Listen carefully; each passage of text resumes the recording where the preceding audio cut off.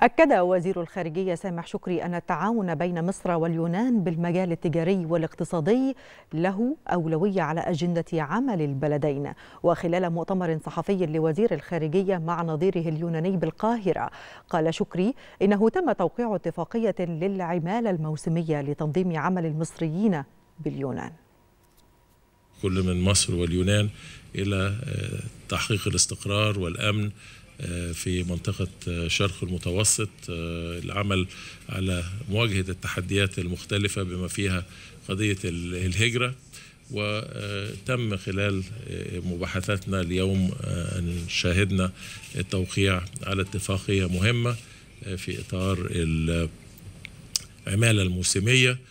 تفتح المجال بشكل منتظم بشكل قانوني لعمل المواطنين المصريين في اليونان دعما للاقتصاد اليوناني وأن يتم ذلك في مجال الزراعة كبداية وهناك فرصة للتوسع في هذا على مستوى القطاعات الاقتصادية